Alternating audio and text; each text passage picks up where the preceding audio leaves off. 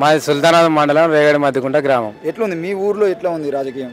ఇలా బహుజన్ సమాజ్ పార్టీ అనేది BC SC ST మైనార్టీలు అందరూ ఏకమై దాదాపు పెద్దపల్లి నియోజకవర్గంలో నీలి జెండా ఎగిరబోయబోతున్నారు ఇలా దాదాపు బీసీల దమాషా ప్రకారం అరవై నుంచి డెబ్బై సీట్లు ఇచ్చిన ఏకైక పార్టీ బహుజన్ సమాజ్ పార్టీ మాత్రమే. ఇలా అరవై లక్షల మంది జనాభా ఉన్న ముదిరాజ్ సామాజిక వర్గాన్ని కానీ గౌడ సామాజిక వర్గాన్ని కానీ యాదవ సామాజిక వర్గం కానీ బీసీలో ఉన్న అన్ని సామాజిక వర్గాలకు దమాషా ప్రకారం ఏకైక న్యాయం చేసిన పార్టీ ఏకైక పార్టీ బహుజన్ సమాజ్ పార్టీ. ఇలా చంద్రశేఖరరావు ద్వారా ఎంత సీ- ఎంతమంది సీట్లు ఇచ్చినావు నువ్వు నీ బీఆర్ఎస్ పార్టీలా ఏ ఒక్క ముదిరాజు కూడా టికెట్ ఇవ్వలేదు ఇవాళ నీలం మధు ముదిరాజు గారికి టికెట్ ఇచ్చి ఆదుకున్న పార్టీ బహుజన్ సమాజ్ పార్టీ. ఇవాళ బీసీలను ఒక నాయకులుగా అసెంబ్లీకి పంపడానికి కానీ పార్లమెంట్ పంపడానికి కానీ పోరాటం చేస్తున్న పార్టీ ఒక సామాజిక పరివర్తన ఉద్యమం చేస్తున్న పార్టీ బహుజన్ సమాజ్ పార్టీ. అలాంటి పార్టీని ఈ దేశంలో ఉన్న ప్రజలు పెద్దపల్లి ప్రజలు కూడా ఆదరిస్తున్నారు. స్వచ్ఛందంగా వాళ్ళందరూ వచ్చి ఇవాళ బహన్జీ గారికి మద్దతుగా ఉషా దాసరి గారిని బలపరుస్తూ వారిని అసెంబ్లీకి పంపించడమే లక్ష్యంగా ఈరోజు పెద్దపల్లిలో సభ అనేది జరగడం జరిగింది. అలాగే రాష్ట్ర అధ్యక్షులు డాక్టర్ ఆర్ఎస్ ప్రవీణ్ కుమార్ గో గారు కూడా మరి బీసీలకు రావాల్సిన వాటా కొరకు బడ్జెట్ కొరకు ఎస్సీ ఎస్టీ బీసీ మైనార్టీల ఐక్యత కొరకు కూడా వారు రాష్ట్ర అధ్యక్షులు అయినప్పటి నుంచి నేటి వరకు ప్రతిరోజు వారు బహుజన ఉద్యమం కొరకు పోరాటం చేస్తున్నారని తెలియజేస్తున్నాం. మీరు చెప్పండి ఎట్లా ఉంది? అంటే ముఖ్యంగా యువకులు కానీ మగవాళ్ళ విషయానికి వచ్చేది ఉంటే దాదాపు ఏదో ఒక పార్టీకి ఇంతకుముందు నాయకులుగా పనిచేసిన వాళ్ళే ఉంటారు. ఆడవాళ్ళు అయితే ఇంటికి పరిమితం అయినప్పటికీ కూడా ఈరోజు ఒక మహిళ ఇక్కడికి వచ్చి నేను రాజకీయం చేస్తాను నాకు ఛాన్స్ ఇవ్వండి వీళ్ళు ఎవరూ చేయనటువంటి అభివృద్ధిని చేస్తా అని చెప్తుంది దాదాపు మగవాళ్ళు మాత్రం ఇంతకుముందు కాంగ్రెస్ పార్టీకో బీఆర్ఎస్ పార్టీకో రాజకీయంలో పనిచేసే ఉంటారు. ఎట్లా ఉంది? వాళ్ళందరూ మళ్ళీ తిరిగి బీఎస్పీలోకి వస్తున్నారా? ఈ అమ్మాయిని గెలిపించుకునే ప్రయత్నం ఏమైనా చేస్తున్నారా? గత ముప్పై సంవత్సరాల నుండి మేము రాజకీయంలో చూస్తున్నాం.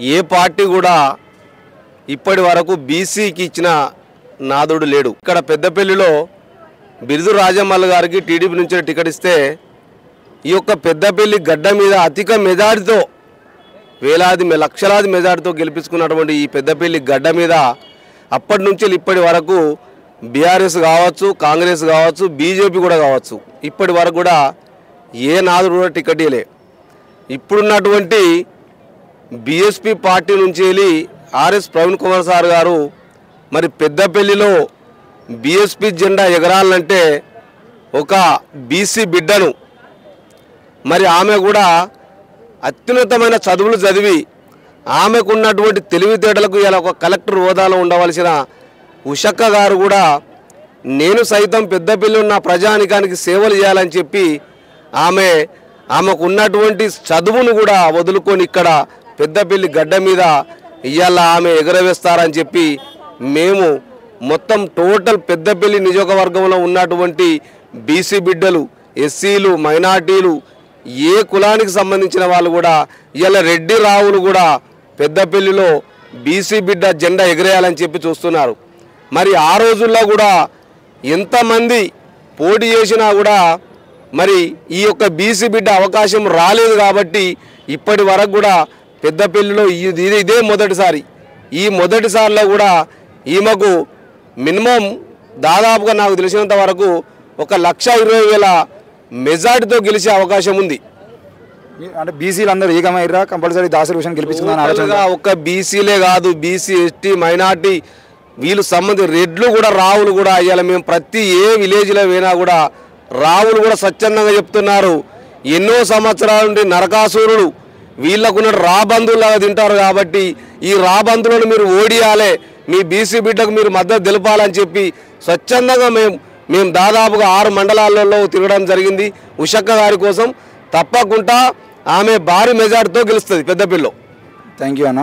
మొత్తానికి తెలంగాణలో ముప్పై ఏళ్ళుగా పెద్దపల్లిలో బీసీ నాయకత్వం లేదు. బీసీ నాయకులు ఒక్కరు ముప్పై ఏళ్ళ క్రితం రాజమల్లు గారు గెలిచి పోయిన తర్వాత ముప్పై ఏళ్ళుగా రాబందులాగా ఒకే కులానికి సంబంధించిన వాళ్ళు ఒక రెండు కులాలకు సంబంధించిన వాళ్ళే రాజ్యం వెళ్తున్నారు. వాళ్ళ రాజ్యాన్ని కూలదొక్కడం కోసం ఈరోజు ఆర్ఎస్ ప్రవీణ్ కుమార్ గారు నిలబెట్టినటువంటి దాసరి ఉషా గారిని లక్ష మెజారిటీతో గెలిపించుకుంటామని చెప్పేసి ఇక్కడైతే బీసీ బిడ్డలుగా ఉన్నటువంటి వాళ్ళు చెప్తా ఉన్నారు. నిజంగానే ఇక్కడ ఉన్నటువంటి బీసీలందరూ ఏకమైతే తెలంగాణలోనే అత్యధిక మెజారిటీతో దాసరి ఉషా గారు కూడా గెలిచి బయటపడేటువంటి అవకాశం ఉంది. ముప్పై ఏండ్లు దాటింది ఈసారి దాసరి ఉషాను గెలిపించుకోకపోతే మళ్ళా మళ్ళా ముప్పై ఏళ్ళ పాటు ఇలాంటి నాయకులని మనం కోల్పోయేటువంటి అవకాశం ఉంటుంది కాబట్టి దయచేసి బీసీలు కూడా ఆలోచించాల్సిన అవసరం ఉందని చెప్పేసి మనం కోరుతా ఉన్నాం. చూస్తూనే ఉండండి. NN media thank you